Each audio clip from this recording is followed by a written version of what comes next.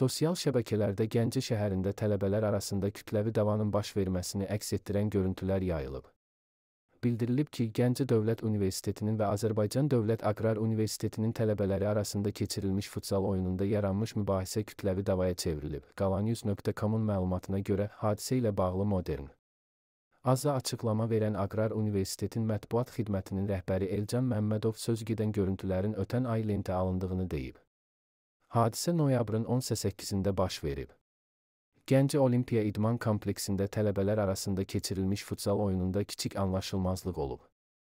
Videoya diqqətlə baxsaq görərik ki, ciddi dava yoxdur tələbələrdən biri digərini itələyib, qıcıq doğuran hadisədən dolayı anlaşılmazlıq olub, universitet nümayəndəsi vurğulayıb. Daxili İşlər Nazirliyinin mətbuat xidmətinin Gəncə regional qrupundan bildirilib ki, noyabr ayının 18-də Tələbə Həmkarlar Təşkilatının təşkilatçılığı ilə Gəncə Olimpiya kompleksində Gəncə Dövlət Universitetinin və Azərbaycan Dövlət Aqrar Universitetinin tələbələri arasında futsal yarışı keçirilib.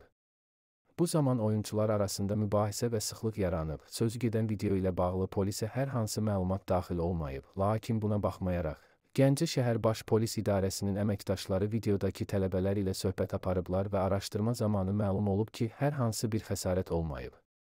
Tələbələrlə profilaktiki söhbətlər aparılıb, araşdırmalar davam etdirilir. Qeyd edilib ki, aparılan araşdırmanın nəticəsindən asılı olaraq əmələ hüquqi qiymət veriləcək.